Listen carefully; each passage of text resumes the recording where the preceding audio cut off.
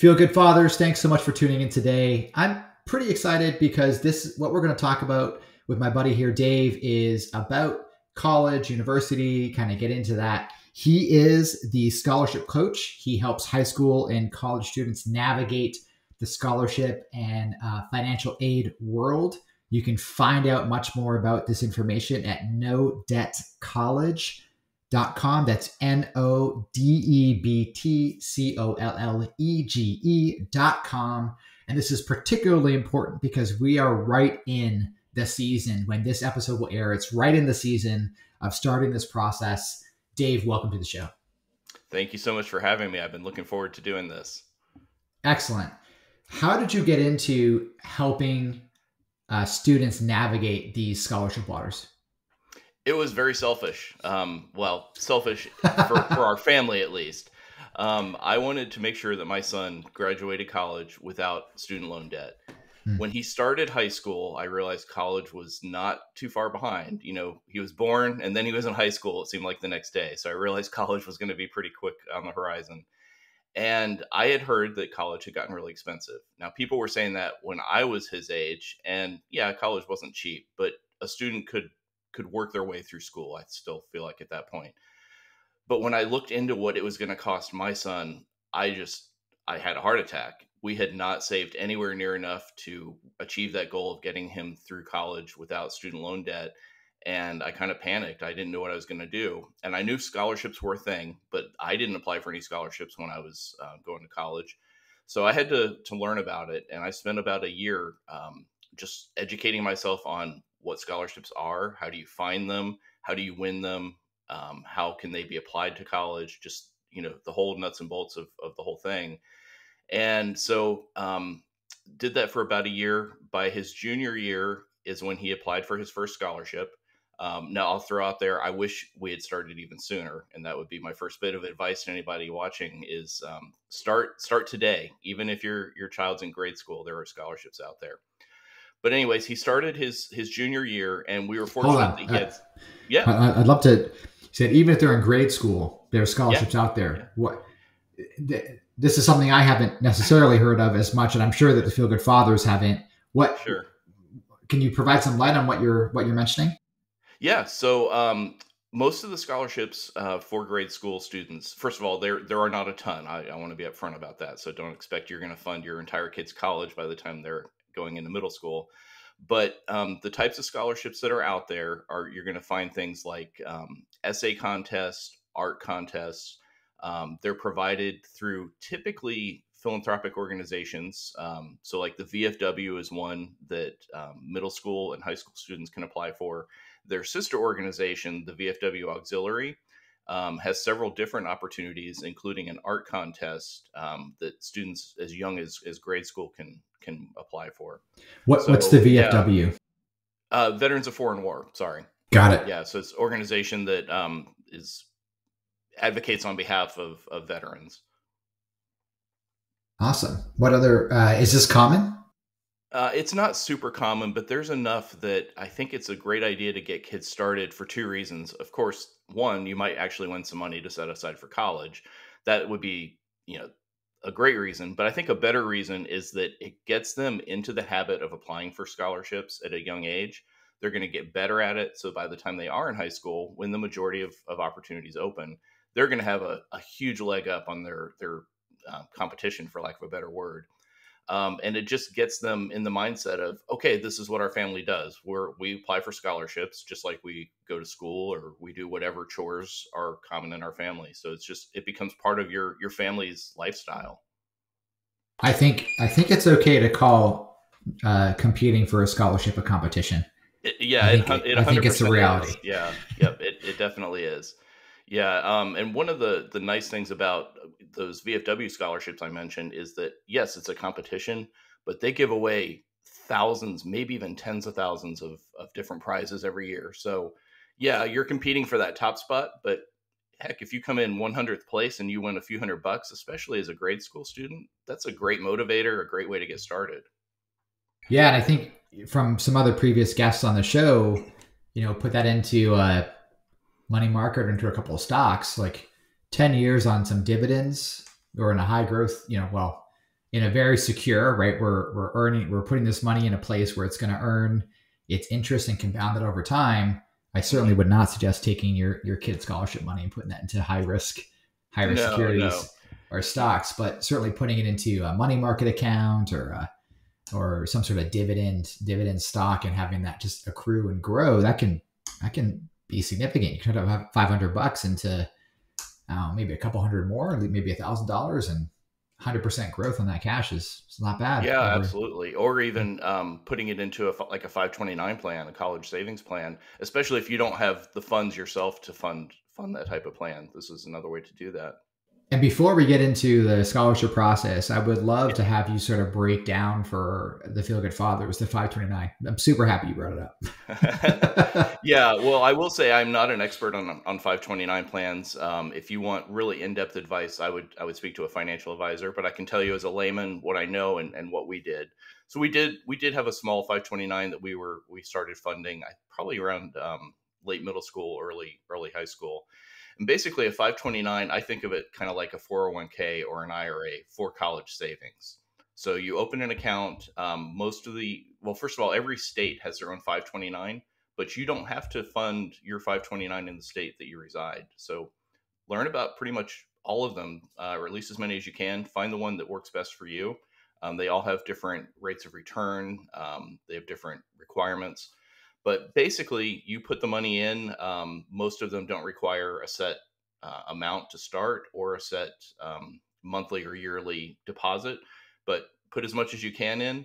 Um, that's that the money in those accounts belongs to the student and it does need to be used for college or some type of higher education. So it could be trade school.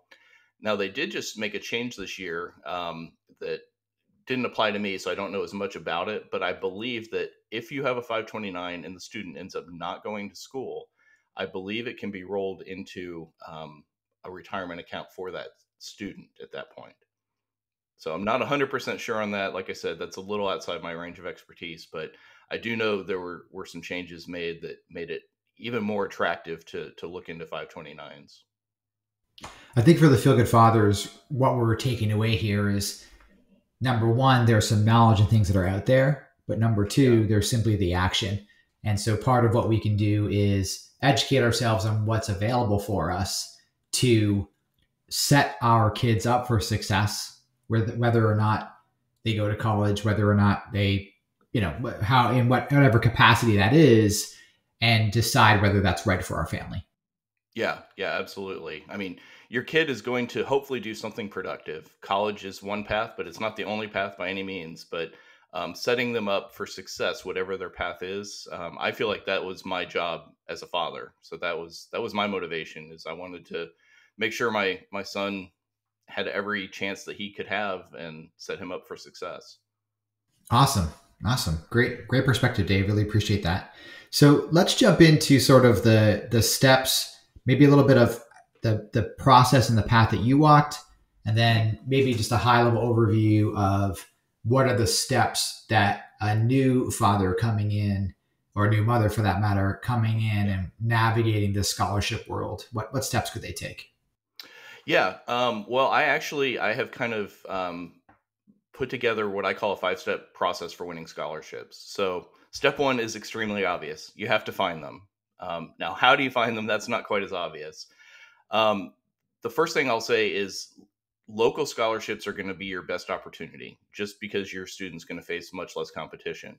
So local scholarships can be found um, if your student goes to a, a traditional school, public or, or, private.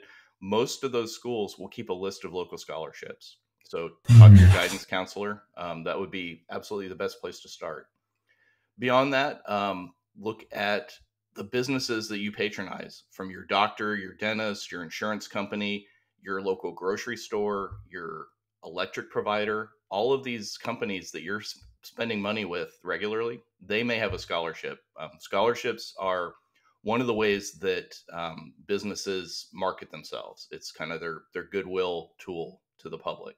So find out if the businesses that you patronize offer those opportunities, or even if it's maybe I don't know, a grocery store in your area that you don't usually shop at, still check them out anyways. So hmm. again, those local opportunities will be your top bet. Beyond that, you want to focus on scholarships that match to your students' interests and abilities at, um, from national scholarship providers. So for my son, he was um, extremely interested in history. He even from a young age, he said he wanted to become a history professor. So we found scholarships that focused on history or social studies type um, questions or essays or projects. So that was our kind of secondary focus after those local scholarships. Now you can find those on um, websites like uh, scholarships.com, Scholarship Owl. Um, there's about a dozen really, really good scholarship websites. Now you'll want to tap into a lot of those, but you will start to see a lot of the same scholarships popping up. So um, the reason to tap into a lot of them is that even though there's a lot of overlap, there will be some unique scholarships in each of those databases.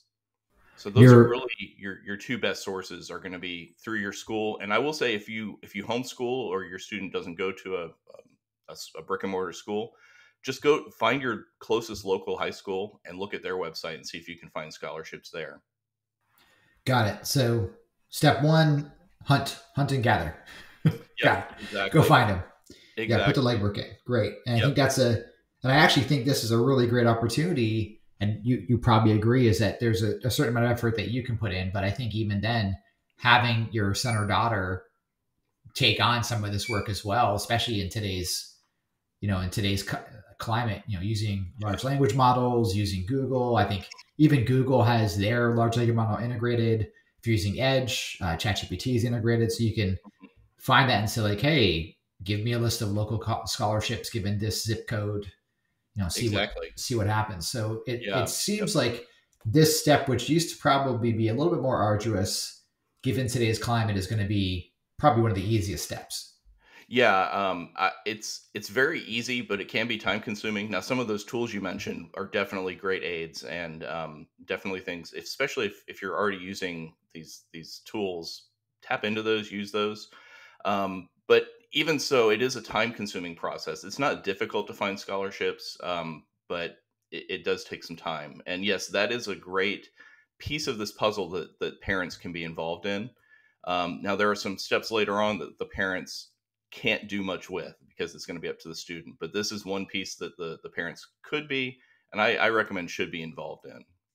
Awesome. Okay. What what's step two?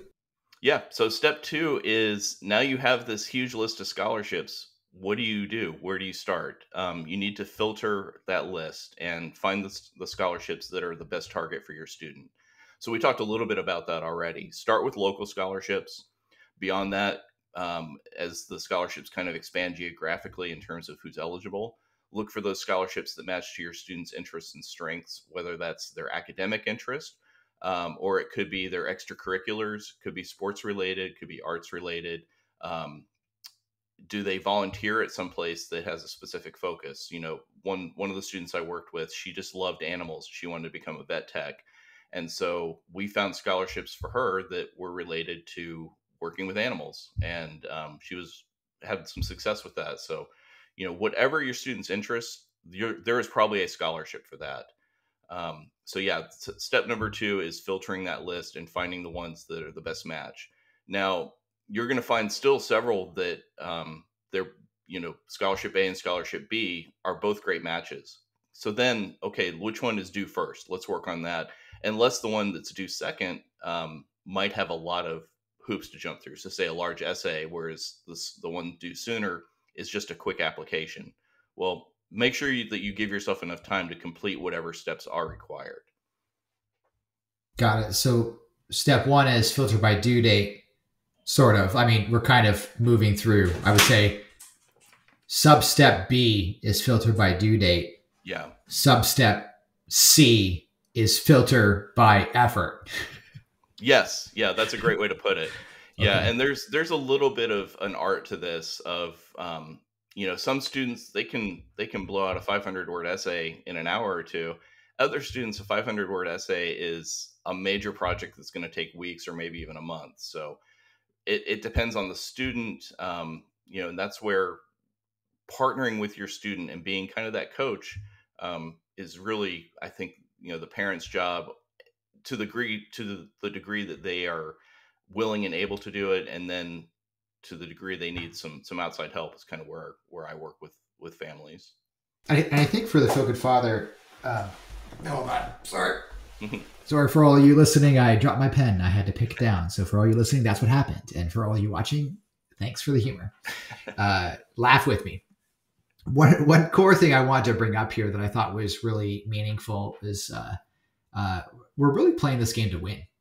Yeah. This is, you know, part of this filtering step. You know, when you said target the best for your student, mm-hmm. I, I think that we're one of the the core elements of um, I think of the real world, right? Is that sometimes you win and lose. And I remember when I was applying for college, it was I I actually it's funny it, it hurt at the time, but I remember applying to some schools and there are some schools that getting that rejection letter I thought was really meaningful, like some mm-hmm. really solid uh, failure, some things to learn yeah. from in that perspective. Yeah. And I think even in this world, like teaching our son and daughter that effort, uh, consistent effort. Uh, it's like we're we're going through this right now. So my youngest daughter is in sixth, or my oldest daughter is in sixth grade.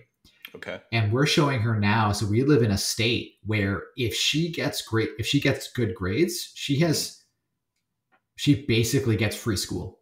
Yeah. Yep. And so that's uh, so we're in Tennessee, and that's one of the perks of being a resident here. And so we're just like, look, just do the effort. Yeah. Just yeah, put in the effort. You get the grades. It's like if you can hit high school and you can do A's, you know, maybe B's the whole time. Just I, I forget what the qualifying amount is. I think it's just mm-hmm. like decent grades all the way through, and they go all the way back to middle school.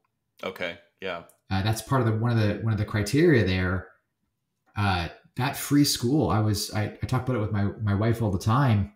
This is hundreds of thousands. This is this is going to be a huge investment in her future. Yes. To get that either to go to a trade school, which we're, mm-hmm. my wife has a trade degree, right? She's got a certificate. Okay. I've got a traditional bachelor's. Mm-hmm. That whichever route route she she picks, having that on the dime of the state, I think is fantastic.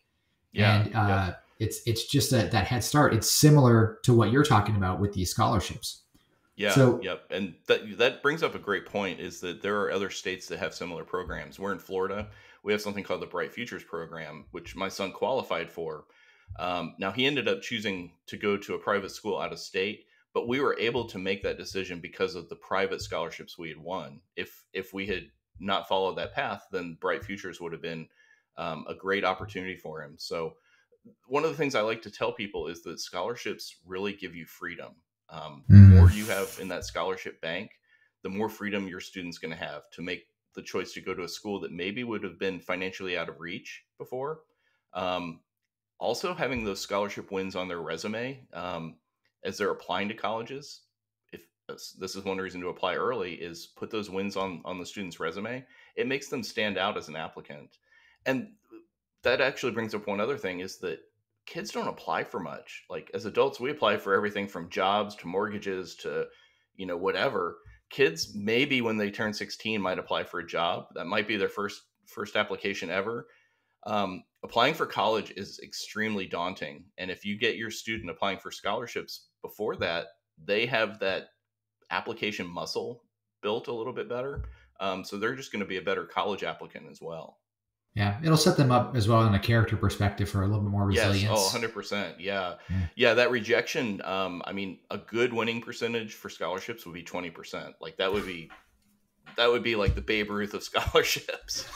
so, yeah, um, yeah, kids will will need to be prepared for rejection. The other thing it it prepares them for is delayed gratification because even when they mm. win, it's going to be months before they find out whether they they actually did win. Um, it it can be really tough, even for me when I'm working with students. Um, you know, I have some who are graduating this year, class of 2024, and they've been at it for a long time and they have yet to see a win. Now, I'm confident they will, but like, you know, they applied for things back in um, November, December that they don't know if they've won or not, and that can be tough. It's it's tough to to wait that out, but it does build character, and um, these are these are skills and traits that the students are going to need the rest of their lives. Love it. What's number three? Uh, number three, so is you found the scholarships, you filtered your list, and you said this is the one we're applying for. Step three is application.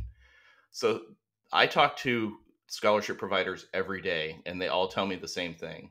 We reject upwards of 90% of the applications we receive because the student didn't follow the directions. Wow. So step number step A in step 3 of applying is simply follow the directions. Just make a checklist of everything that they want, whether it's an essay, if it is an essay, what specifically are you supposed to be writing about? Make sure you hit all the points in the prompt. If they want letters of recommendation, how many and from whom? If they want transcripts, do they need to be official or unofficial? Do they need to have um, scores from my current semester? Whatever it is that the scholarship is asking for, make sure you get them that, and you will you will beat your competition significantly just by following directions. Love it. What are the what would be the I mean this one seems a little bit more straightforward. There might not be a follow-up question here. I was thinking of what are what are the hidden gotchas uh, on this step? Um, I think that if there is one, it would be if it's an essay or some scholarships are moving more to like a video essay type thing. Um, if the prompt has multiple questions you're supposed to answer, make sure that you hit all of those.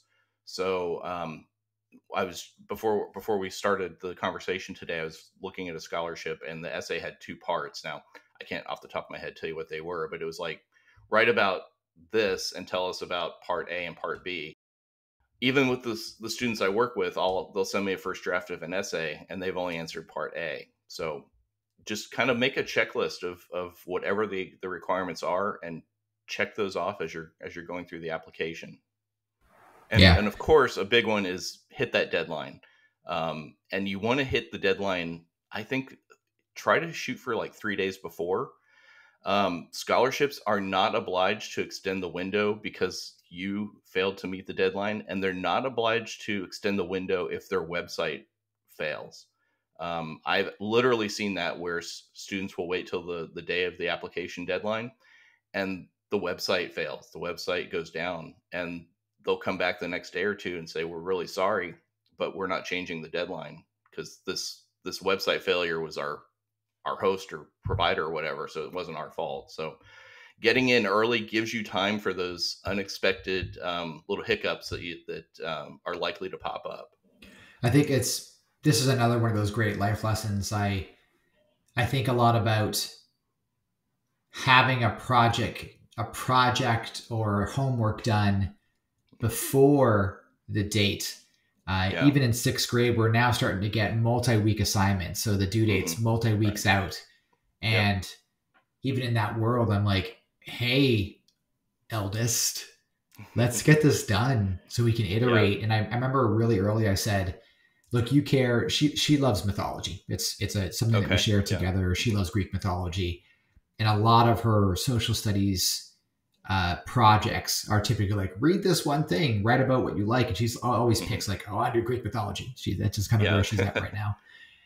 And I always say like, hey, you you know so much about this world, and she's got at least a dozen books in it. She's read she's reading Percy Jackson, so she has that kind mm-hmm. of perspective on it. Right. She's got the more academic side of like, you know, there's more there's a couple more, more his, historically accurate versions of the mythology that aren't mm-hmm. fiction based Right. And I always say like, hey, this this stuff jazzes you up. So why not just start now? Like, sure, it's it's yeah. due in two weeks, but right. you can get this done in a couple of days. You could have it sit there and then do another iteration and come back and refine and make it more polished. And all these different elements, they they uh, they add a, a better product. And I say the other thing as well is because I think kids, you know, uh, kids at this age they don't have the better the best sense of time yes so it's yes. it's much better to complete projects when you're calm and you have the space mm-hmm. and you can fill in the blanks than being pressed in the last day or two before it's due and cramming in you know i, I remember once she did a booklet it was like she, well she had to create she waited she had to create like a 20 page booklet in like a night uh-huh. Yeah. you know, and thank goodness she knew the material, right? So we weren't yeah. combining learning the material with creating it. She already knew it because it was her passion. Right. on the other side, I just remember turning to her and saying, like, you've had this due for a while. This could have been, we could have done one page a day. And mm-hmm. now it wouldn't, we wouldn't be pressing into the evening because we, you know, we sacrifice relaxation time, sacrifice just, you know, doing activities as a family and just like, all right, we're sitting at the table let's go. Yeah. You know? Yeah, yeah. I mean, that's a great point. Um, students, I'm going to say 99% of students, even really um, highly motivated and um, you know the top students, they don't really have the executive function to succeed in scholarship, the world of scholarships on their own. They need um, a partner, and mom and dad are, are probably going to be the best partner. Um, now, kind of my role is to supplement that. Um, you know, I can I can offload some of that for the parents, um, especially like if they're not if they don't feel qualified to review essays and things like that. But the the parent still needs to be involved to keep the student on track, um, regardless of whether you're working with somebody outside or not. And um, yeah, that that executive function piece is is really critical. And um, students' brains at that age they're just not developed for that. That's that's not how kids are built. Um, so yeah, that's that's why the parents really having them involved is going to really improve the success. Yeah, that, feel good fathers? Get involved. involved, yeah. I think Yep. I think this really echoes a sentiment I've heard from a lot of my teachers, and a sentiment that I echoed and heard from almost all of her coaches. So, Aldous has done roller skating. She's now doing archery. She's Oh, done cool. art. She's done all these other activities outside of school. She's done taekwondo. And in Mhm. each of those scenarios, it was like, yes, having the coach, having the specialist, having the whatever uh, be the primary provider of motivation, direction, guidance, and coaching is great. But parents should you should always, always be involved, and you don't need to be an expert, right? In order to Right, support my daughter in archery, I don't know how to sh- I don't know how to do an archery. Like I'm I'm going, I'm gonna go figure out how to shoot a bow, but Right. I yeah. didn't need to do that to support her. I didn't need to know how to do these roller skating things to do it. I didn't need to know how to support, like to do taekwondo to support her in that effort. But some of the critical parts of keep putting your effort in, maintain focus, keep going, don't give up. Every day is not going to feel great. Most, you know, a third of the days are going to feel bad. A third of the days are going to feel mediocre, and then a third of the days you're going to have a really great time.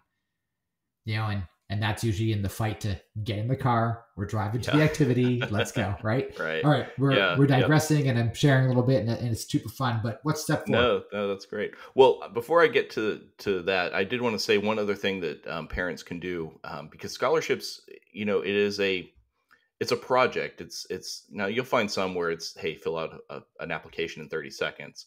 Do those, but don't count on those because they're going to get a million entries. But for scholarships that that require some effort, break it into smaller pieces and have um, deadlines for those pieces. So let's say you know your your high school sophomore is going to apply for X scholarship there, and there's a 500 word essay.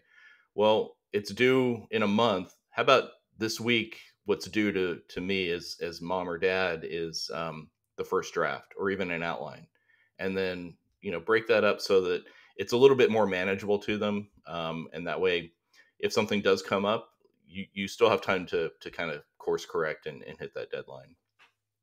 Awesome. Love it. Okay. Number four. Step four. So step four is tracking your scholarships. Now, part of that um, is just you know when you build that list. I we use that as our tracking tool. We had this this list of scholarships that we're we were going to apply for, and then as he applied, we just checked it off, and we would mark the date that we were expecting to hear a yes or a no. Now, a dirty little secret of the world of scholarships is that they very rarely hit their own deadlines for announcements, but they're usually close. They're usually within a week or two. Sure. So that can that can be super frustrating, especially if you've waited for months already and now they're they're late. But um, it's important to track the ones that you've applied for, and kind of a subset of that is um, knowing those deadlines. But as you are looking at that scholarship before you've applied, see if they're providing information about previous winners, whether it's just a little bio on it or if it's like an essay or a video based is their project from from the last year's winner posted? And what can we learn about that winner? Even if the essay prompt or the video prompt is different you can probably get a clue of what the scholarship provider liked about that scholarship. So I love this combination, and I, I the the part one of the combination being help with the project management of what's going on. We're not doing the work, and I, I've I feel Right. I feel terrible every once in a while for the student when I I remember in when my oldest was in grade school, just walking in to see the student projects and being like, "There's no way, Yeah. there's no Yeah. way that that seven year old put that together. You're in Yep. first or second grade. Uh uh That didn't Yeah. happen. I know. I know Yeah. that was mom and dad. And I Yep. think that Yeah. um, it certainly sets up your kids for failure. I, I in a, Yes. in the in the worst way to do the work for them. But I absolutely love the concept here because it's a teachable moment. And it's a skill transfer. So Mm-hmm. while setting up the breakdown or the the deadlines in the project, we can be educating our kids on how we're doing this.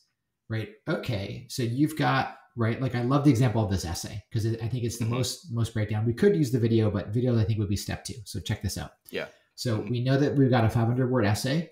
We we know as adults. Well, how would I do that? Probably a little bit of research, probably a little bit of an outline, probably a rough first draft, maybe some key paragraphs. Just kind of start writing, and then finally making sure it hits. I think I think probably at this age with most essays, it's like intro, body paragraphs, closing, right? So it's Yeah. like Yep. super straightforward formula. So Mhm. even in that world, if I was setting up a project, uh, we're not yet at the. If you haven't figured this out, we're not yet at the essay stage yet for oldest. Yeah. Yeah. Um, you know that to me would be great. So final product, then I would do the breakdown, and I would say, okay, well, you know, you at least need your three parts. Is your intro good? Is the body good? Is the closing good?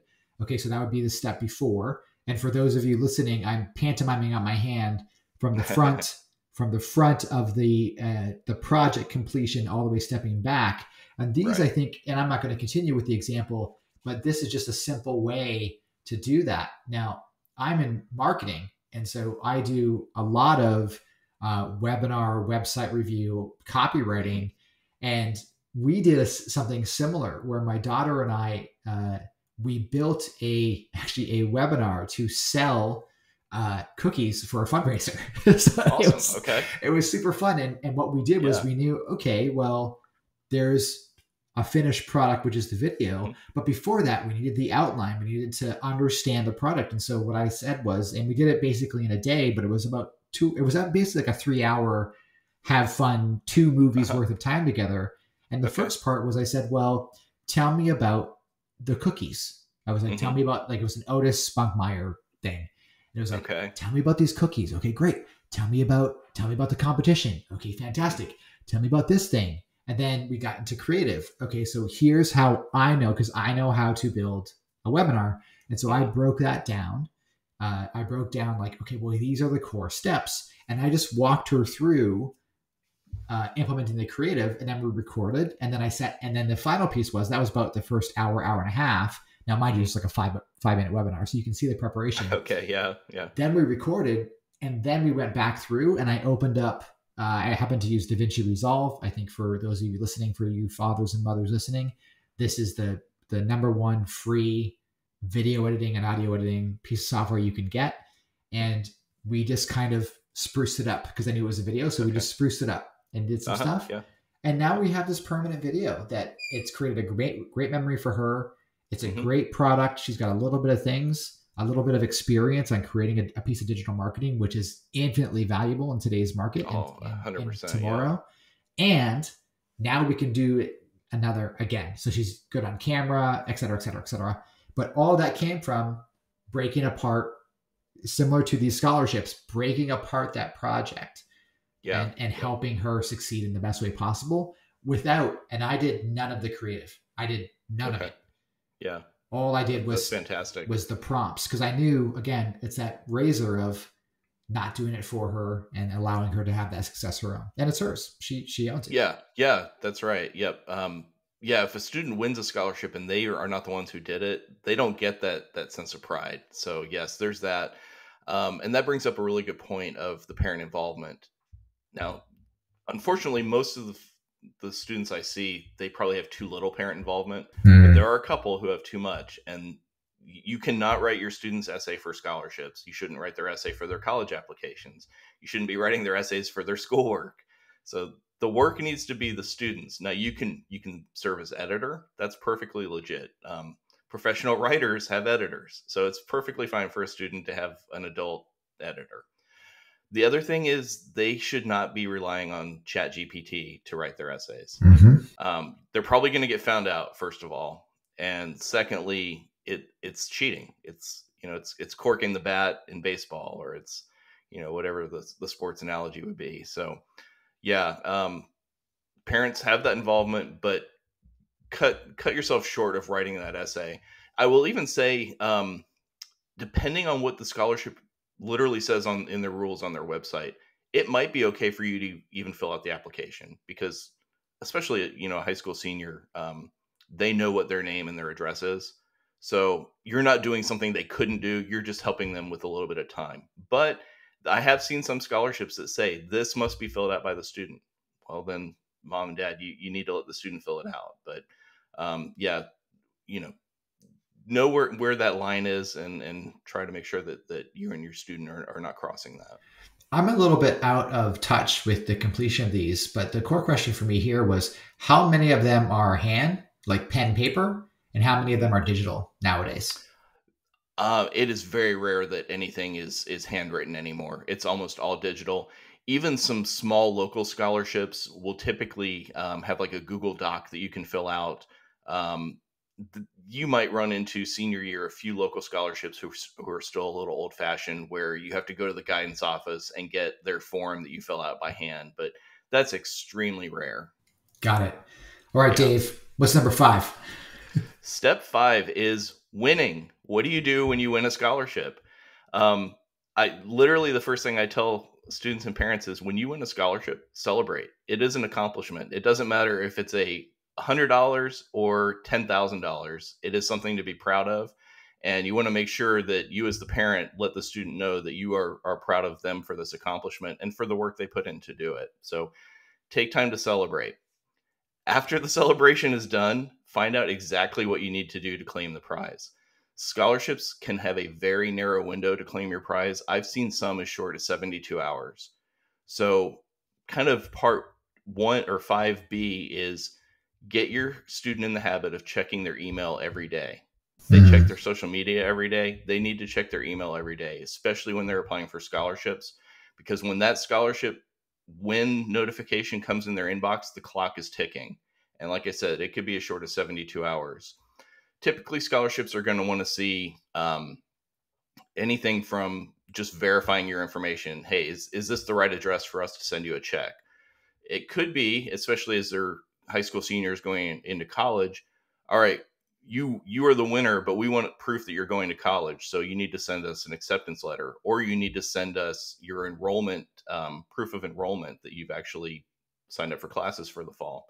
Whatever it is, get that information to the scholarship as soon as you can. Make sure that you hit their deadlines. And this is again another piece that the parents should be involved in. Um, that executive function, even for for high school seniors, is still maybe not quite where it needs to be. So, but I, I mentioned checking the email every day. Um, kind of a pro tip related to that is set up an email address that you and your students share and that's exclusive for scholarships or maybe scholarships plus college applications. And that way you can keep an eye on it even when your kid maybe fails to check that email every day.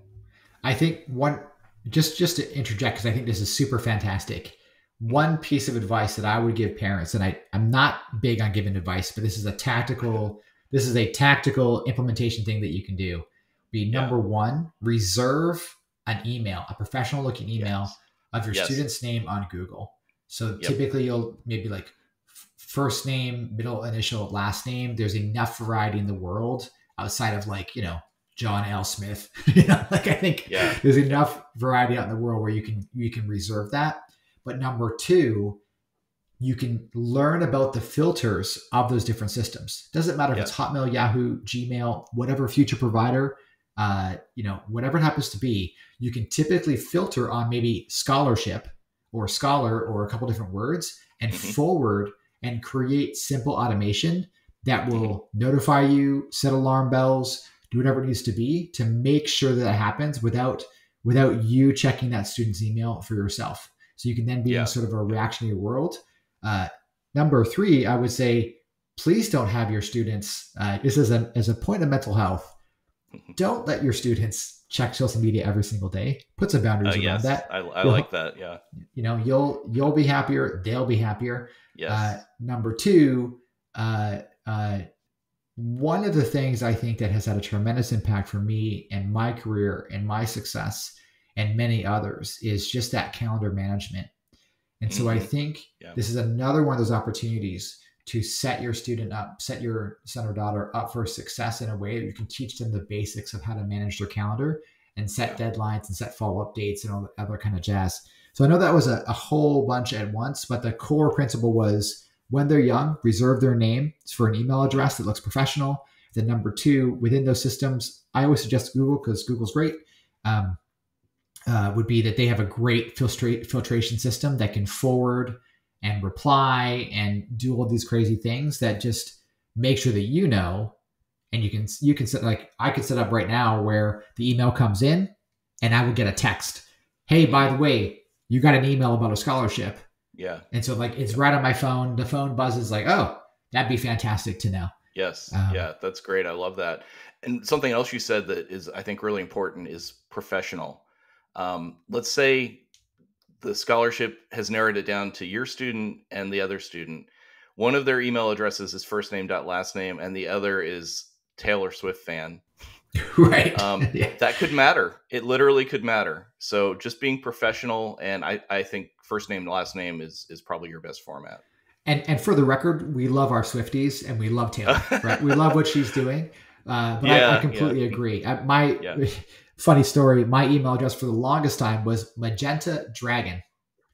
That was that was the email address for the longest time. okay. And then basically when I got into high school, I was like, you know, let me do this and this, and and just Yeah, completely change it. And Yep. and that did. And I I can tell you, as a person who has received resumes and stuff like that, looking at that email address and saying, really, like this Hotmail is the one. This is the one you want to send me. Right. You know, right, like yeah. you, never want to get some of the other more creative creative versions.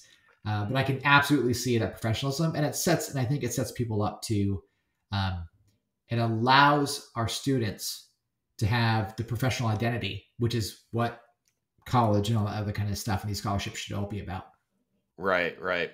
Um, kind of echoing one other thing you said about social media, and yeah, I agree. Um, the less time students spend on social media, the less time all of us spend on social media, probably the better off we're going to be.